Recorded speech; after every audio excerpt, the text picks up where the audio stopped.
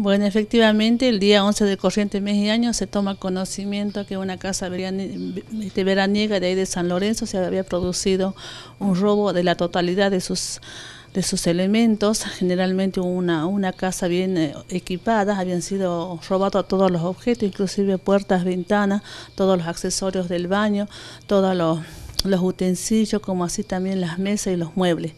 Se toma conocimiento a partir de esa fecha, conjuntamente con personal civil de esa dependencia, el subcomisario Garnica de la División Robo y Hurto de este departamento procede a realizar investigaciones sobre el hecho.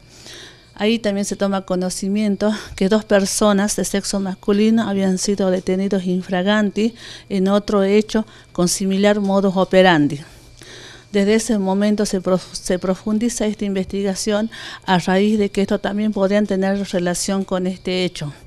Fue así que se logra establecer que esto no sería ajeno al hecho sucedido por lo que se solicita órdenes de allanamiento en la víspera, las cuales son libradas y se procede a realizar los allanamientos en los domicilios de estas dos personas que ya estaban demoradas y se procede al secuestro de elementos varios, vajillas, sillas, mesas, este, camas, inclusive una pileta de baño.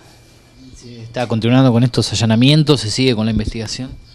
Efectivamente, nosotros estamos continuando con la investigación a fin de lograr el esclarecimiento del hecho y así poder recuperar los otros objetos sustraídos, porque todavía nos faltan recuperar varios elementos que faltan a este inmueble. ¿De cuántas personas involucradas hablamos entonces? Nosotros tenemos, o sea, por el momento están involucradas dos personas, las cuales ya están este, demoradas y a disposición de la justicia, pero faltan recuperar otros elementos. Más de San Lorenzo, en otras zonas se sigue trabajando respecto a estas personas, se las viene siguiendo solamente en esta localidad. Estas personas han sido demoradas en esta ciudad, o sea, no son ellos oriundos de San Lorenzo, sino son de esta ciudad que habían ido a sustraer en esa villa veraniega, pero estamos trabajando, seguimos trabajando por el hecho a fin de recuperar todos los objetos sustraídos.